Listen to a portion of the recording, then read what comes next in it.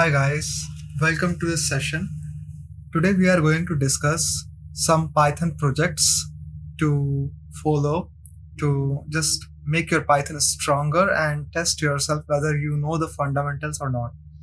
So before starting, I would like to know how many of you are already I mean, you have already achieved your desired role, data analyst, data scientist, or software development, or you are pursuing it and just in the process. So comment with the reason why you want this particular role. And if there is any role which is not in the option here, I want you to write the role and with a reason like why you want to achieve it. So let's remind ourselves what we want to achieve and if you have achieved something what is your next goal what is your next step if you are already a data analyst data scientist what's the next step what are what is your target? Whether it's a package or a company where you aspire to work. So let's see who is closer to their goal and why they are doing it so that we can motivate each other. So let's just start with the first python project. And these projects are completely for beginners. It's not for someone who who is already good, good in python. But yeah if you want to do it for fun you can definitely do it. So for those who are already experienced they can just do it uh, without checking code and just for their logical exercise. And those who are beginners they don't need to just keep doing it by themselves. If they are kind of feeling low it's hard it's okay. Just see the code and understand the process. So i have all the links also. I will share it with you. So the first project is number guessing game. And it's a fun game where you need to generate random numbers with specific ranges and user need to guess the number after getting the hints. So let me show you directly code actually. I don't want to just discuss this like this. You know the main thing is you must practice you must practice it. Now okay i think the link is not working like this. So let's just check. Number guessing game on Geeks for Geeks. Number guessing game python. So there are multiple platforms to see the code if you want to see the code. If you feel that it's hard to do it you are not able to think so simply just check on google. There may be multiple solutions so you can check multiple way of doing the same problem statement same game. And here you can see that you have all the explanation available. As a beginner if you are not able to do it that's completely okay. Let me show you how to understand game and how to skim code properly so that it improves your learning despite you are uh, watching the code. If you are not able to build logic that's completely fine. It can take months to make build logic. You just need to practice. You just need to get habitual of looking at codes. Now let me show you. For example this is the code you see in python. You can see in c programming also. Now what do you learn from this code? Let's say you have done python and you still feel that you are looking at this code and you see that oh i don't know about this input. What's input here? Now you can say that oh i don't know about random dot random what what does it do? You may see like oh i don't know about this round function. You don't know about this math dot log. Now you can see that how why it's written like this in double quote like this. So there can be multiple things in this code where as a beginner you may think, I don't under, uh, understand this. So how to understand this? Let I will show you now. Now here you can see that there are a lot of things. So what you can do is first of all here it's already written. The good thing about this platform is they put a lot of comments to read. So it is about taking inputs. This is a method using input you take input. Why int is written outside of it? Because when you take input, you are simply taking uh, uh, a string. Because you can see that we have this double quote here. So you need to convert this into integer so that you can use it. So in this way, you can see a lot of things here where you can learn some methods, some functions, some steps like, for example, string formatting, some new library like random, and uh, sometimes you also understand like how we are using while loop and why we are particularly using this logic. So what you need to do is you can you need to simply copy this code from here. You can see that copy code and open a Google Colab and just uh, put the, all the code here. One way is this like you can copy code, but other way, the best way I will suggest is you must type code, simply open a different browser and parallelly just type code from here and print at each step what's going on.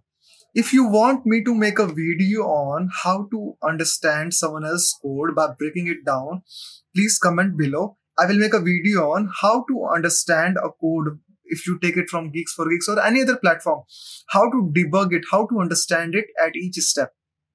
So if you want a video on that, please comment below. I will make a video on that. Right now, I don't want to do it because it will make the video very long. So this is what you can do as a beginner. And this is the best way of revising the fundamentals.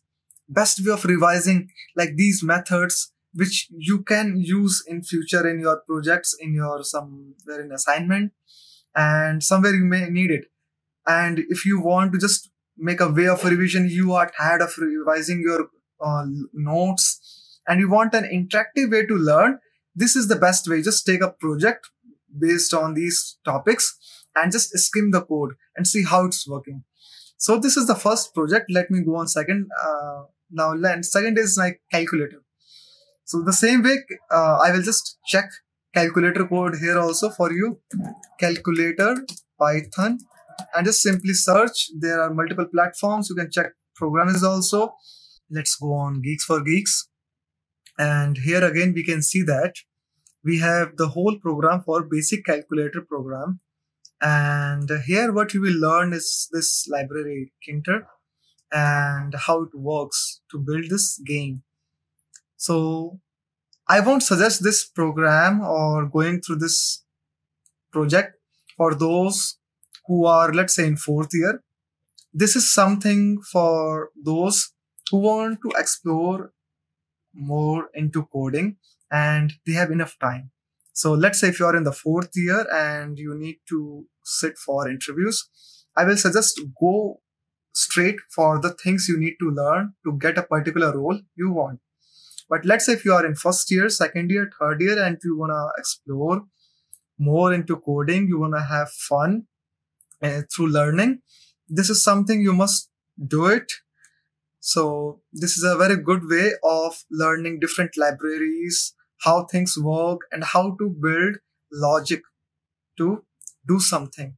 Because when you explore so much code like this and you learn also like how the logic is being built to achieve an interactive game which you can even sell. I mean, nowadays you cannot sell calculator game, but you just you just build so much logic that you can create something new. So let's go for our third project, which is alarm clock. And uh, you can check alarm clock code also the same platform like data different platforms DataFlair let me show you this one also alarm clock data flare. So you can see alarm clock with GUI here you can see the whole code for the alarm clock. And let's see what you will learn here. So again here you will learn something new.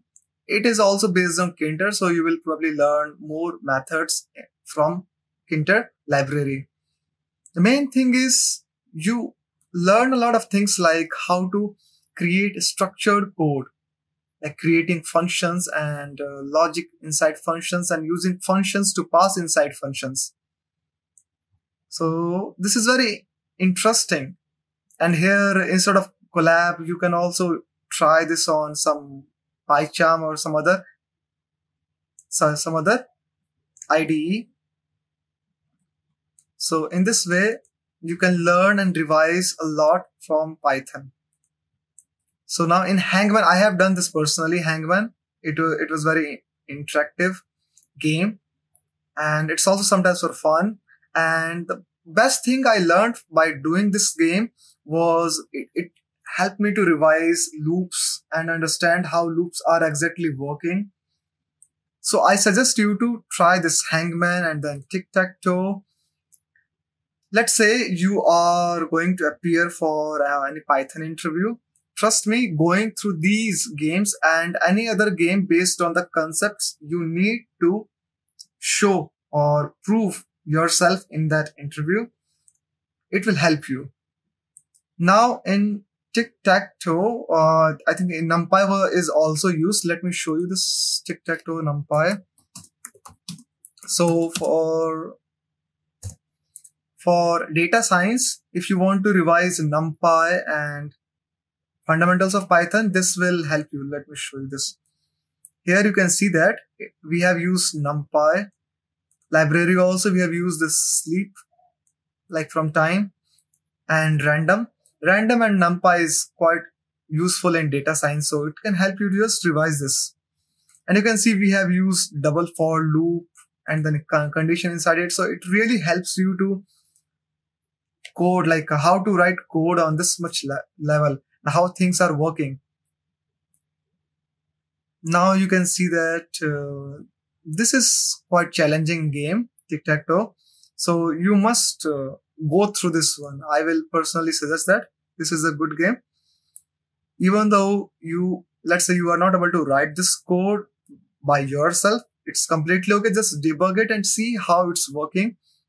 You can see that we have here around three four five six seven eight functions and we are using eight function in the final like seven function inside this final play game so it's really interesting.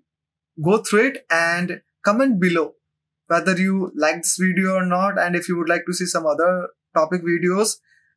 One of the learner had suggested to make a video on Python projects for beginners. So that's why I shared this.